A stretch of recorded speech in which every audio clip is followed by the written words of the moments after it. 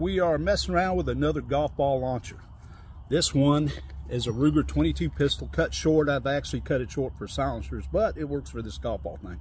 So we're going to put this in here. And the beauty of these 22s are, this is a number three nail blank. It'll launch one about 100 yards so you can actually recover your golf balls. If you want to go with a five or a six, a six will shoot them out of sight.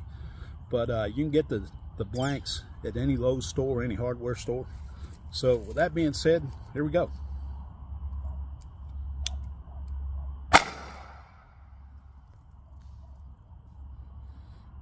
That went a good 100 yards or so, and uh, they're a lot of fun. Check them out.